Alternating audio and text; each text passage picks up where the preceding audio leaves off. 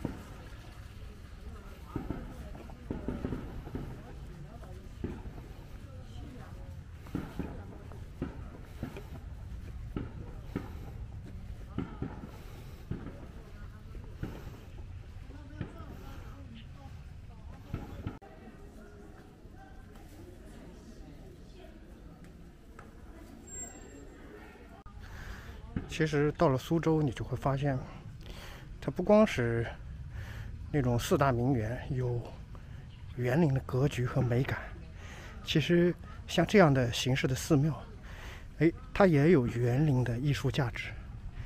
不信，大家走着看看。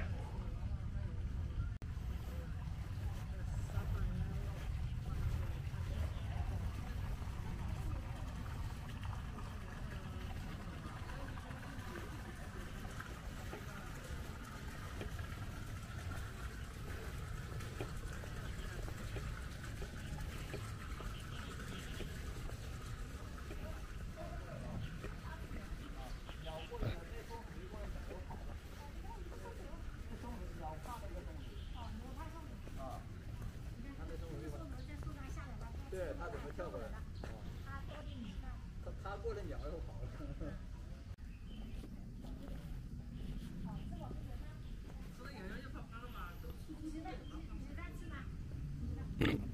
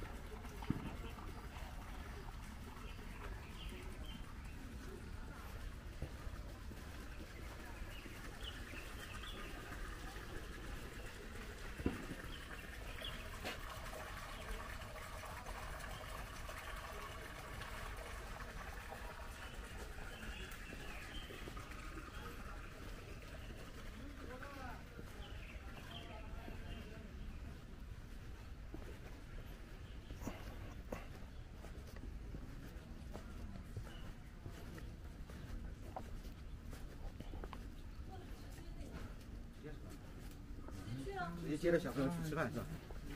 我们到的时候，小朋友不知道放学没有。